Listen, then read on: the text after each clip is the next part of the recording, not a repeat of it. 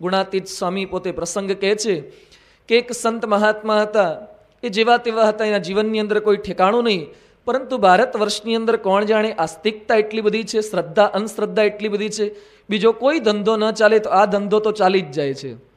ભગવા કપડાં પહેરે એટલે સાંજ પડે બે પાંચ માણસ તમને પગે લાગનારા મળી જ જાય.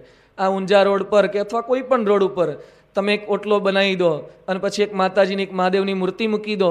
બાજુમાં એક પેલી માળા લઈને પોતે બેસી જાઓ, અગરબત્તીનો ધૂપ શરૂ કરી દો. સાંજ પડે, બે પાંચ માણસ તો પૂછવા આવે કે માતા, શું છે બાબાજી? અને પછી પોતાને જે કંઈ તકલીફ હોય એની રજૂઆત પણ કરે અને સો દોઢસો માણસના આશીર્વાદ આપો, એમાંથી એકને જ ફળે ને. ફળવાય એનો એ ફળે ને, એમાં તમને જશ મળે. એટલે સહેજે સહેજે માણસનું ચાલી જાય છે. એટલે આ પણ એવા કંઈક મહાત્મા હતા. પરંતુ જીવનનું કોઈ ઠેકાણું નહીં. એનો શિષ્યની સાથે જોડાયો. શિષ્યને ગુરુ કહેતા ગયા હતા કે, હું જ્યાં જઈશ, ત્યાં તને મારા ધામની અંદર લઈ જઈશ. પછી ગુરુ તો મૃત્યુ પામ્યા. શિષ્યનું પણ મૃત્યુ થયું અને ગુરુ એને લઈ ગયા. તો પેલો મૂતરનો ખાડો હતો, એની અંદર નાખ્યો અને વિષ્ઠા પાંચ પરું બધું હતું, એની અંદર નાખ્યો. શિષ્ય કહે છે, ગુરુ, તમે તો ધામની વાતો કરતા હતા કે મોટું સુંદર ધામ અમારું છે. એ કે આપણું ધામ આ જ છે કે, મારા જેવા ધંધા હતા એવી જ ગતિ તને પણ પ્રાપ્ત થાય ને? જેની સાથે જોડાયા હોય, એ ચોક્કસ એવી ગતિ આપણને કરી આપશે. તુલસીદાસ કહે છે કે અધ્યાત્મ માર્ગે કોઈ પણ સંતની સાથે જોડાતા પહેલાં એ કયા સ્થાને રહીને બોલે છે, એની સ્થિતિ શું છે, એ અતિશય જોવું અગત્યનું છે. અમદાવાદ તરફ જવું હોય અને ઊંઝાનું બોર્ડ જોઈ અને બસમાં બેસી જઈએ તો કામ ન થાય. બસમાં ચડતા પહેલાં પણ એનું બોર્ડ જોવું પડે છે. એમ સંત સમાગમ કરતા પહેલાં એ કયા સ્થાને આપણને લઈ જાય એવા છે એની સામર્થ્ય શું, સત્તા શું, એનો અચૂક અભ્યાસ કરવો જ રહ્યો. આ લોકની અંદર એક પ્રકારના માણસોનો દુકાળ છે. તુલસીદાસ કહે છે, કેવા માણસોનો દુકાળ છે? તુલસીદાસ કહે છે, આ લોકની અંદર બીજાના ઉત્કર્ષમાં પોતાનો ઉત્કર્ષ છે એવું માનનારા માણસોનો દુકાળ છે. આજે કેરોસીનની તંગી, પાણીની તંગી, એ બધી તંગી તો છે જ પરંતુ બીજાના આનંદમાં પોતાનો આનંદ માની શકે એવા સજ્જનોનો આ લોકની અંદર દુકાળ છે.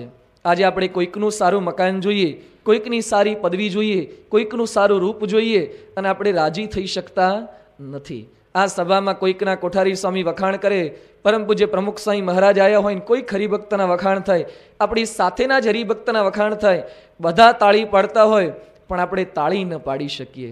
જાણે આપણા હાથે મણમણના વજનિયા લટકાયા હોય, એટલું ભારે પડે, હા? કોઈકના ઉત્કર્ષમાં તાળી પાડવી બહુ ભારે છે. એ તો પ્રમુખ સાંઈ મહારાજ પોતે બોલી શકે in the joy of others lies our own in the progress of others lies our own બીજાના ઉત્કર્ષમાં અમારો ઉત્કર્ષ, બીજાના આનંદમાં અમારો આનંદ. આ બોલી શકાય એવું નથી. મહારાજે મુક્તાનંદ સ્વામીને શાસ્ત્રાર્થ કરવા માટે વડોદરા મોકલ્યા, ગાયકવાડ સરકારના ત્યાં. મુક્તાનંદ સ્વામી કહે છે, મહારાજ, મારી કોઈ બુદ્ધિ નહીં, મારી એવી વિદ્વતા નહીં, શાસ્ત્રની અંદર મારી કોઈ પ્રવીણતા નથી. છતાં પણ મહારાજે આજ્ઞા આપી, આદેશ આપે, મુક્તાનંદ સ્વામી ત્યાં ગયા અને ખરેખર મુક્તાનંદ સ્વામીની સાધુતાએ દિગ્વિજય કર્યો. વાલા રૂમઝૂમ કરતા કાન મારે ઘેર આવો રે. એ પદ ગાતા ગાતા મુક્તાનંદ સ્વામી હાથમાં કરતાલ લઈ અને વડોદરાના રાજમાર્ગ ઉપરથી પસાર થઈ રહ્યા છે. લક્ષ્મીવિલાસ પેલેસ અત્યારે જે છે, એની આગળથી સ્વામી પસાર થયા અને સભામાં કોઈ સ્વામીની સમક્ષ શાસ્ત્રાર્થ ન કરી શક્યું. સ્વામીની સાધુતા આગળ અને વિદ્વતા આગળ બધા ઝૂકી ગયા. આ બાજુ મહારાજને ખબર મોકલાયા કે મુક્તાનંદ સ્વામીએ શાસ્ત્રાર્થની અંદર વિજય પ્રાપ્ત કર્યો છે. સ્વામિનારાયણ સંપ્રદાય એ સાચો છે, એ પુરવાર કર્યો છે. મહારાજે ત્યાં ગરડાના દાદા ખાચરના દરબારની અંદર બેઠેલા સંતો હરિભક્તોને દાદા ખાચરને કીધું કે સાકર આજે આપણે બધાને પોશે પોશે આપવી છે. અને સાકર લાયા મહારાજે બધાને પીરસી, ખૂબ પ્રેમથી બધાને જમાડ્યા. મહારાજ કહે છે, મુક્તાનંદ સ્વામી દિગ્વિજય કરી રહ્યા છે. અને હમણાં મુક્તાનંદ સ્વામી આવે છે. મહારાજ કેરના એ તલપાપડ થઈને રાહ જોઈ રહ્યા હતા કે મુક્તાનંદ સ્વામી આવે અને આપણે તેમનો આદર સત્કાર કરીએ. ઘણા બધા રાજી હતા, પણ બે સંતો કુરાજી થતા હતા મહારાજના જ પરમંશ નિર્વી કલ્પાનંદ સ્વામીને હરિહરિયાનંદ સ્વામી. જોજો જે બીજાના ઉત્કર્ષમાં રાજી થાય એવા માણસોનો દુકાળ છે, રાજી થઈ શકાતું નથી. મુક્તાનંદ સ્વામી જેવા સંત, ખબર પડી કે માણેક ચોકની અંદર મુક્તાનંદ સ્વામી પ્રવેશ કરી રહ્યા છે. મહારાજ પોતાના આસન ઉપરથી ઊભા થઈ ગયા. દોડતા દોડતા મુક્તાનંદ સ્વામીની સામે ગયા. મહારાજ સ્વામીને દંડવત કરવા લાગ્યા. સ્વામીએ મહારાજને ઊભા કર્યા, પછી મહારાજ ભેટી પડ્યા. મહારાજ કહે છે, મુક્તાનંદ સ્વામી, તમે અમારી લાજ રાખી. સ્વામિનારાયણ સંપ્રદાય સાચો છે, પુરવાર કરી બતાવ્યું. આમ તો મુક્તાનંદ સ્વામીને નિમિત્ત બનાવ્યા હતા. પણ મહારાજે એમને એટલો બધો યશ આપ્યો, એટલું સન્માન કર્યું, આ પેલા બે સંતોથી સહન ન થયું. હતા ભગવાન સ્વામિનારાયણના સંત નંદકોટીના પરમંશ હતા. છતાં પણ નિર્વિકલ્પાનંદ સ્વામી શું બોલ્યા? અન્ય સંતોની હરિભક્તોની હાજરીમાં એમાં મુક્તાનંદે શું દાડ મારી? એના બદલે અમને મોકલ્યા હોત તો અમે પણ દિગ્વિજય કરીને આવત.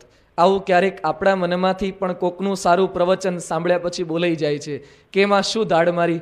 આવું જો અમને કીધું હોય તો અમે પણ કરી શકીએ. આવી પારાયણ કરે એમાં એમાં શું દાડ મારી? આવું તો અમે પણ બોલી શકીએ. કોઈક ધર્માદો કરતો હોય, એમાં કઈ વિશેષતા નથી. આટલો તો અમે પણ કરીએ છીએ કોઈક સેવા કરે અને સંતો એના વખાણ કરે એ કે એમાં કઈ મોટી સેવા કરી નાખી નથી. આવી સેવા તો અમે ઘણીવાર કરીએ છીએ આ બધા શબ્દો ઈર્ષાળુ માણસના શબ્દો છે. રાજી થવું જોઈએ. બીજાના ઉત્કર્ષની અંદર, બીજાની પ્રગતિની અંદર પણ માણસ રાજી થઈ શકતો નથી. લોકની અંદર ઘણી બધી કીર્તિ પ્રાપ્ત કરી શકાય, પણ ઈર્ષા ભાવનાનો નાશ કરવો, બીજાના ઉત્કર્ષમાં રાજી થવું ખૂબ ભારે છે. માઇકલ જેક્સનનો ઉલ્લેખ ઘણીવાર સંતો કરે છે ના સુખ સમૃદ્ધિનો ઉલ્લેખ તો થાય છે, પણ એ માણસ ઈર્ષ્યાથી કેટલો પીડાય છે થોડાક સમય પહેલાં. એનો લંડનના એક મેગેઝિનની અંદર કંઈક ઇન્ટરવ્યૂ આવ્યો હતો. એ માણસે હોલેન્ડનો એક તાંત્રિક છે, ડચ તાંત્રિક. એને રોક્યો. હવે અહીંયા આપણે ભુવા જાગરિયામાં માનીએ છીએ એ લોકો પણ ત્યાં માને છે.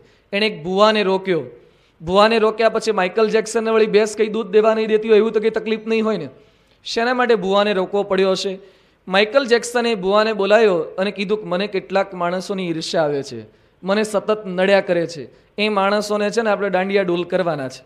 એ માણસોને મારી નાખવાના છે. માઇકલ જેક્સને ત્રેવીસ માણસોનું લિસ્ટ આપ્યું. પેલા ડચ તાંત્રિકને. કે આ બધા મને નડે છે. એમાં પેલો સ્પિલબર્ગ છે, જુરાસિક પાર્ક ફિલ્મ બનાવનારો. એ સિવાય ઘણા બધા ડાયરેક્ટર, ઘણા બધા એક્ટર, જે માઇકલ જેક્સનને સતત પોતાની પ્રગતિના પંથ ઉપર નડ્યા કરે છે, એવા ત્રેવીસ માણસોનું લિસ્ટ આપ્યું. અને પેલાને કીધું કે તારે દોરા નાખવા, પેલા દાણા નાખવાના અને તારાથી જે કંઈ વિધિ થતી હોય કરવાની, પણ મહિનાની અંદર આ બધાને મારી નાખવાના. પેલા માણસને પણ પૈસા પડાવાતા, એટલે આને પણ આનો ગેરલાભ ઉઠાવ્યો અને પેલા એ ફી શું લીધી માઇકલ જેક્સન પાસેથી પંચોતેર લાખ રૂપિયા. પંચોતેર લાખ રૂપિયા આપી અને પેલા ત્રેવીસ માણસોને મારી નખાવાના પ્રયત્ન. હજી એક પણ ઓછો થયો નથી. પણ છતાં પણ માણસોને કેવી અંધશ્રદ્ધા અને કેટલી વિશેષ તો ઈર્ષાની વૃત્તિ કોઈનો ઉત્કર્ષ જોઈ શકાતો નથી. આજે એ પણ ઘણી મોટી પદવીએ બિરાજમાન છે. ઘણો એનો પણ ઉત્કર્ષ થયો છે. પરંતુ બીજાના ઉત્કર્ષમાં રાજી થવું ખૂબ ભારે છે. સેવન હેબિટના પુસ્તકમાં લખ્યું છે, ખૂબ સુંદર સિદ્ધાંત છે. વિન વિન તમે પણ જીતો ને બીજાને પણ જીતવા દો. ક્યારે બીજાને પરાસ્ત કરીને આગળ આવું, એવી ભાવના ક્યારેય મનમાં ન રાખો. ક્લિન્ટન જ્યારે ગાંધીનગર અક્ષરધામમાં દર્શન માટે આવ્યા, પ્રમુખ સ્વામી મહારાજના સાનિધ્યમાં બેઠા હતા, પ્રકાશ ઉપર આપણે ફોટોગ્રાફ જોઈ શકીએ છીએ. પછી સ્વામીજીની સાથે પ્રદર્શનના હોલ તરફ ચાલતા ચાલતા જતા હતા. બાપાનો હાથ એણે ક્લિન્ટને પોતાના હાથની અંદર પકડ્યો હતો.